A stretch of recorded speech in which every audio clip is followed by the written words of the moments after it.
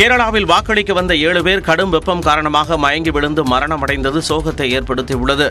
முதற்கட்ட வாக்குப்பதிவை கடும் வெப்ப அலை பாதித்ததாகவும் இதனால் பல மாநிலங்களில் ஓட்டுப்பதிவு குறைந்ததாகவும் கூறப்பட்டது. அதேபோல் இரண்டாம் கட்ட தேர்தல் மாநிலங்களிலும் வெப்ப அலை வீசக்கூடும் என்று எச்சரிக்கை விடுக்கப்பட்டிருந்தது. இதனால் வெயிலை சமாளிக்க தேவையான அனைத்து ஏற்பாடுகளையும் வாக்குச்சாவடிகளில் மேற்கொள்ளவும் தேர்தல் ஆணையம் உத்தரவிட்டுள்ளது. இந்த நிலையில் மக்களவைத் தேர்தல் இரண்டாம் கட்ட வாக்குப்பதிவு கேரளாவில் நடைபெற்றது. இதில் பாலக்காடு மலப்புரம் கோழிக்கோடு உள்ளிட்ட பல்வேறு பகுதிகளில் வாக்களிக்க வந்தவர்களில் ஏழு பேர் வெப்ப அலையின் தாக்கத்தால் மயங்கி விழுந்து மரணமடைந்தனர். பெங்களூருவில் மத்திய நிதியமைச்சர் நிர்மலா சீதாராமன் தனது ஜனநாயக கடமையை ஆற்றினார்.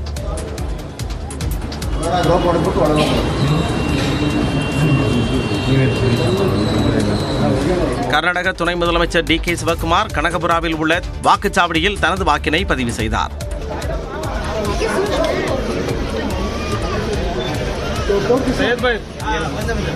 கேரள மாநிலம் திருவனந்தபுரத்தில் சசி தரூர் வாக்களித்தார்.